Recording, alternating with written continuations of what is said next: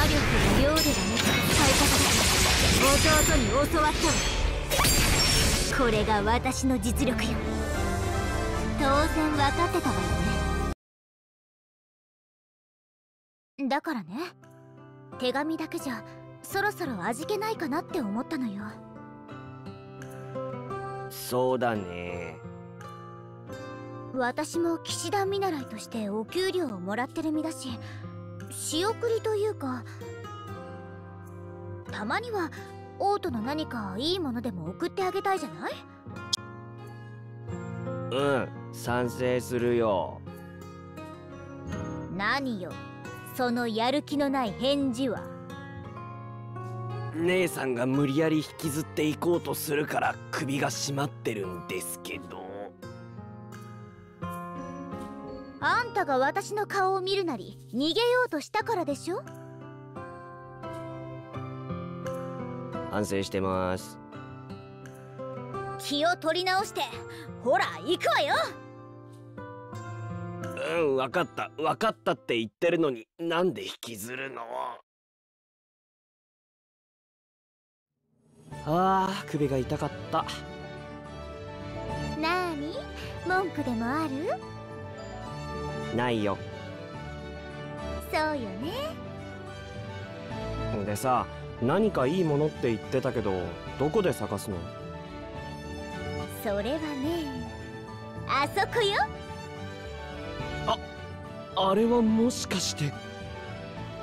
最近見つけた三つ星ってすっごいお店よ。やっぱり。今何か言った？うん何も言ってないよ。ところでこのお店って何がすごいの？価格帯はかなりお高めなんだけど置いてる商品が他では見たことないようなものばかりなんですって。へえそうなんだ。前から気になってたのよね。一体どんなお店なんだろうって。ここならパパやママに喜んでもらえるものがきっと見つかるはずよ。ここれが三つ星。なんだか思った以上にすごいのね。あんな大きくて豪華なシャンデリア見たことないわよ。ほんとだね。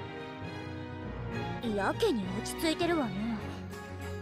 まさか実は前にも来たことがあるなんてこと。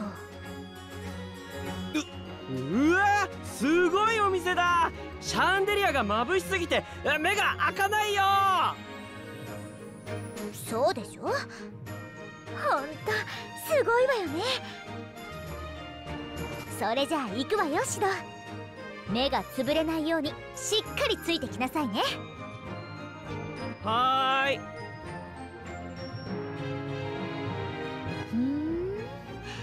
この辺りはアンティーク調の調度品ばかりみたいね。ねえこのランプとかどう思う？いいんじゃない？母さんが好きそうな気がするし。そうね。へえ自画像用の額縁なんてのも売ってるのね。これどうかしら。パパにあげたら大喜びしそうよね確かに。じゃあはい。最後の一つみたいだしシドあんたが持って歩きなさい。えこんな重そうなもの僕が持つの？男の子でしょ？これくらい軽いものよ。見て見てシド。装飾用の鎧兜と剣のセットよ。なかなかいいと思わない？ええ実家の玄関に置いたら映えると思うわ。念のためこれも持っていきましょう。ー、もう持てないよ。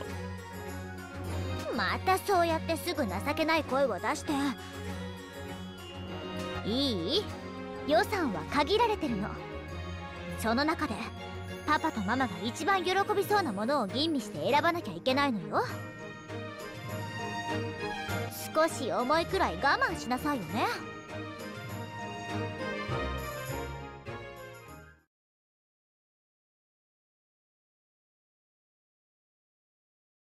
うん。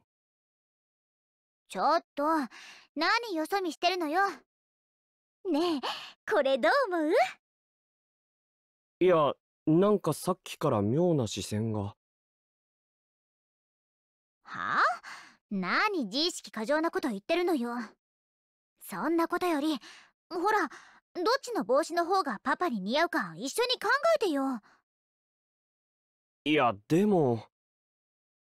おめでとうございますお客様方。え？な本日はご来店誠にありがとうございます。今日の良き日にお二人を祝福できますこと私当三つ星商会のオーナーとして嬉しく思います。はあ。ねねえシド。一体何がどうなってるのかしら？さあ僕にもさっぱりちっとも1ミリもわからないかな。いかがなさいましたか？状況が飲み込めていないのだけれど一体何がおめでとうなんですか？はい。お二方は我が三つ星の通算100万人目のお客様でございましてつきましては特別サービスをさせていただきたくどうぞこちらの VIP ルームへご案内いたします。どうぞこちらへ。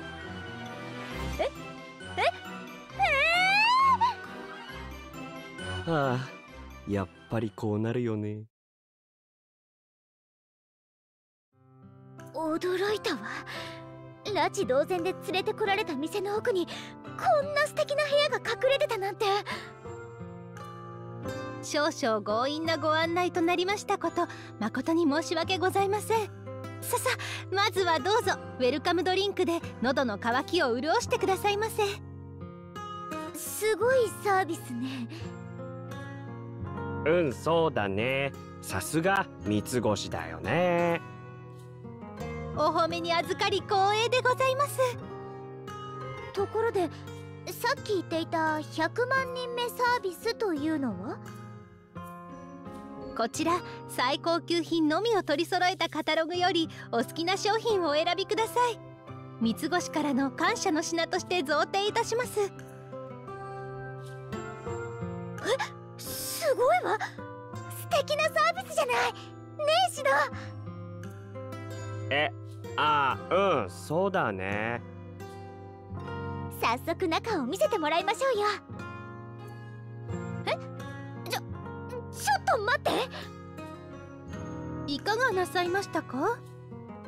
こここれが本当にプレゼントしてもらえるの？だだってここに載ってる商品ってどれも信じられないくらい高級よ。